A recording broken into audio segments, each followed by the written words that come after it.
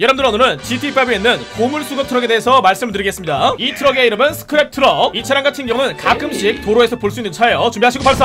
하이어 반갑습니다. 먼저 디자인을 볼게요. 보시면은 상당히 많이 녹슬어 있어요. 전면부를 보시면은 거대한 front grille 그리고 철제로 만들어진 범퍼가 밑에 달려 있고요. 보시면은 이게 진짜 지저분해요. 이게 다 녹슨 겁니다. 이쪽에 있는 본넷, 펜더랑 여기 심지어 사이드 미러까지 구석구석 녹슬어 있어요. 관리가 전혀 안 되고 있습니다. 앞쪽에도 바퀴 한 짝, 그리고 뒤쪽에는 바퀴가 두 쌍이 달려 있습니다. 심지어 바퀴가 두 짝이 양옆으로 붙어 있어요. 이것을 바로 복륜 타이어. 차는 녹슬었지만 휠과 타이어는 굉장히 깨끗하군요. 그렇다고 해서 디테일이 좋은 건 아니에요. 이 마감 부분이 약간 좀 아쉽습니다. 그리고 뒤쪽에는 TLF가 네모 모양으로 하나 둘 셋. 그리고 이 트럭의 특징이라고 하면은 적재 공간이 꽤나 커요. 사람들을 많이 실을 수 있죠. 여러분들 제가 대충 세봤는데 31명 정도는 탈 수가 있습니다. 제가 이 상태에서 출발 한번 해볼게요. 출발. 보시면은 사람들이 한 명씩 떨어지는군요. 안 돼!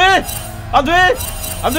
여러분들 혹시 헨젤과 그레텔 아시나요? 저의 경로가 지금 표시가 되고 있습니다. 차량의 모든 문 열어볼게요. 모두 일단깍 그렇지! 근데 이게 딱 봐도 후드가 엄청 무거워 보이는군요. 혼자서 열기는 살짝 힘들 것 같은 느낌? 이것이 바로 스크랩 트럭의 엔진. 엔진은 나름 깨끗해요. 관리가 되고 있습니다. 제가 바로 내부도 볼게요. 일단은 브레이크랑 클러치, 악셀이 전부 다 그림으로 되어 있고요. 여기 핸들, 깜빡이, 버튼. 내부는 뭐 나쁘지 않습니다. 제가 여기 한번 올라가 볼게요. 이쪽으로 와서 가만있어 봐. 들어와봐. 불러. 여러분들 여기 후드 안으로 숨을 수가 없어요. 제가 지금 공중에 떠있군요. 이렇게. 제가 여기다가 점착 폭탄을 던져볼게요. 아이 뭐잘 붙는데? 근데 사람은 왜 안 들어가? 그리고 이게 고물차다 보니까 뒤쪽에 쓰레기가 실려있는 모델들이 존재합니다. 하나 둘 셋 넷 다섯 여섯 일곱 여덟 아홉 열. 하나 둘 셋 넷 다섯 여섯 일곱 여덟 아홉 열어 먼저 여기부터 볼게요. Oh my god. 이쪽에 보시면 쓰레기 나무 판자 세탁기 그리고 쇼파 그리고 뭐 진짜 온갖 쓰레기가 다 있습니다. 다른 것도 한번 볼게요. 이쪽 같은 경우는 세탁기가 두대 그리고 안에 보시면은 과자가 들어있는 것을 볼 수가 있죠. 근데 이거 세탁기 맞죠 여러분들? 참고로 여기에는 물리 엔진이 적용이 안 돼 있군요. 아토마이저를 발사. 여기에는 나무 판자가 엄청나게 많은 것을 볼 수가 있죠. 밑에 이거 뭐죠? 이게 설마 피자인가? 그리고 트럭마다 색깔이 다 다른 것을 볼 수가 있죠. 주황색, 파랑색, 흰색, 초록색. 오케이. 제가 쓰레기를 수집하기 전에 먼저 주행 성능부터 보고 갈게요. 구동 방식은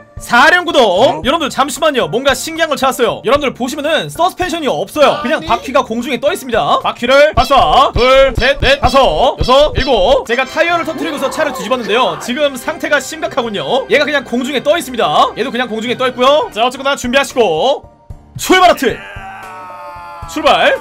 생각보다 엄청 느리진 않네요. 잘 스타트해줍니다. 자동차가 분명히 느리긴 하지만 이 정도 출력이면은 일하는데 문제는 없을 것 같아요. 제가 바로 핸들링 볼게요. 여기서 바로 왼쪽으로 nice shot! 차체가 높다 보니까 뭔가 살짝 쏠리는 느낌이 있어요 왼쪽으로 다시 한 번 더 오른쪽으로 살짝 쏠리죠 이렇게. 그렇다면 이제 녀석의 진짜 성능을 보기 위해서 업그레이드 해보도록 하겠습니다. 아 이게 안 들어가질 것 같은데? 여러분들 저랑 내기를 합시다. 만약에 들어가진다면은 여러분들은 그냥 영상을 보시면 되고요. 만약에 안 들어가진다면은 구독과 좋아요를 눌러주시면 좋겠습니다. 왜 준비하시고?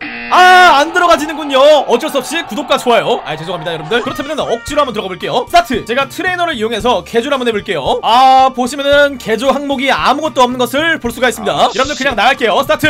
제가 이제부터 고물 수집을 해볼게요 볼게요. 여기 보시면은 쓰레기가 진짜 많은 것을 볼 수가 있죠. 뒤쪽으로 와서 파라솔. 제가 지금 파라솔을 한 개 정도 납치했습니다. 이 파라솔은 트레버에게 선물로 주도록 하겠습니다. 여러분들 여기 보시면 버려진 차가 있는 것을 볼 수가 있죠. 여기 있는 고물차를 들어서 제 트럭에다가 조심스럽게 담아볼게요. 오늘은 운이 좋군요. Nice shot. 아하. Nice shot. 버려진 UFO가 있는 것을 볼 수가 있습니다. 근데 얘는 너무 커요. 저거는 못 실어요. 저건 뇌절이에요. 일단은 뒤쪽에 실려있는 고물들을 팔게요. 이게 지금 너무 많아가지고 아쉬! 여기 뒤쪽에는 고물차들 사셔야 됩니다. 아시겠죠? Nice shot! 그리고 과일 가게에서 수박을 조금 얻어왔습니다. 감사합니다. 잘 먹을게요. 제가 이 상태로 도시 한번 가보겠습니다. 스타트!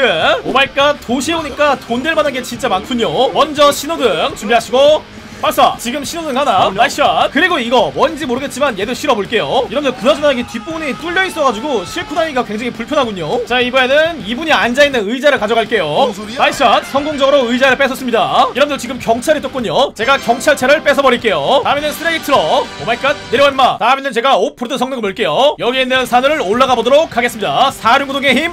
가자 아 역시나 못 올라가는 것을 볼 수가 있죠. 그렇다면 내리막길. 제가 A번들과 함께 내리막길을 가볼게요. 떨어지면 안 돼요 여러분들. 후진으로 스타트. 갑시다. A번 스타트. A번 스타트. 안돼. 안돼. 내리막길을 출발 보시면은 가속도가 상당히 좋은 것을 볼 수가 있습니다. 차가 꽤나 무거워요. 이쪽으로 그리고 방향 전환이 안 되는 것을 볼 수가 있습니다. 한 바퀴 턴. 안전상의 이유로 오프로드 테스트는 여기까지 하겠습니다. 그렇다면 이제 스크랩 트럭에 대해서 종합적인 평가를 듣고서 마무리 하도록 하겠습니다. 이 자동차는 예능용으로는 굉장히 좋은 차예요. 자 그렇다면 세팅이었습니다